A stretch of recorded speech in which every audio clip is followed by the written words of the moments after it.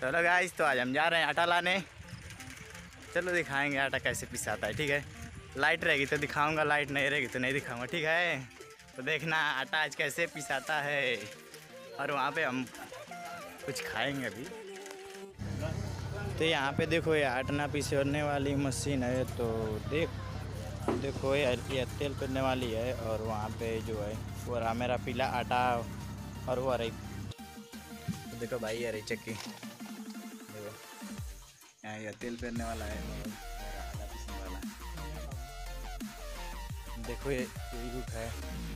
और वहाँ पे ट्रैक्टर वो क्या कहते हैं, धान दाने के लिए आया है तो हम वहीं पे जा रहे हैं। ठीक है, देखना, दिखाऊँगा मैं थोड़ा सा। क्योंकि उतना तुम लोग देखोगे नहीं। ठीक है। हमारे यहाँ गाँव में बहुत कम ही जगह रहता है। देखो ये यहाँ पे किसी ने धान धरा है और वहाँ पे मचान बनाया धान पीटने के लिए। देखो आ रहा मचान। तो ऐसे ही हमारे यहाँ सब करते हैं। गाँव में कहाँ किसी का उतना गाँव में भी जगह रहता है, लेकिन वो किसी किसी का घर नहीं रहता है, इसलिए। देखो, और मैं एक चीज़ दिखाता हूँ तुमको, देखना।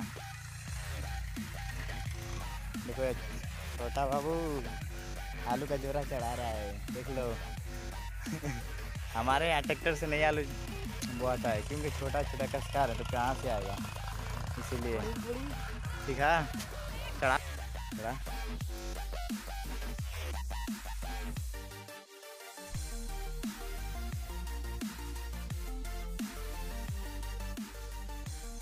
तो हम आटा पिसा कर आ चुके हैं और थोड़ा मैं इधर गाँव में घूमने आया था और देखो, मेरे ऊख, देखो वहाँ पे ऊख है। और ये पेड़ नीप का है, पेड़ है। देखो यहाँ पे पालक बोया गया है। बोआ गया है।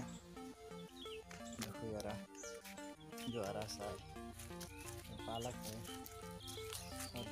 और वो है मुरगी वहाँ पे गोभी बोआ बोया बोया गया है। यार अमरूद ठीक है। थोड़ा रोशनी इधर चला गया, इसलिए मैं काला आ रहा हूँ।